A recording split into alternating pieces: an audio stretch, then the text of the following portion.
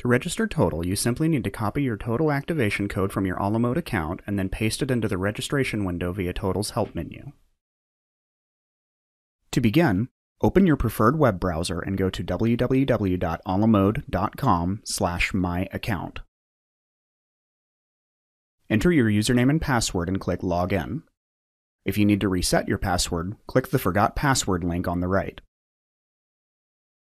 Click Download Products on the left. Find Total in your list of products and click the View Activation slash Authorization Code link. Use your mouse cursor to highlight the authorization code. Then, press Ctrl C on your keyboard to copy it, or right click the highlighted code and select Copy. While you're here, it's a good idea to take note of the customer number listed. You'll need it when you're registering Total.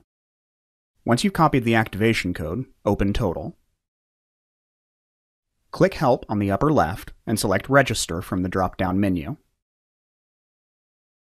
In the screen that appears, type your customer number. This was the number that appeared above your activation code in your account. Enter a friendly name for your computer. This can be anything you want, it's just an easy reference so you know which computer you've authorized. Place your cursor in the first activation code field and press Ctrl V on your keyboard to paste the code or right-click the field and select Paste from the drop-down menu.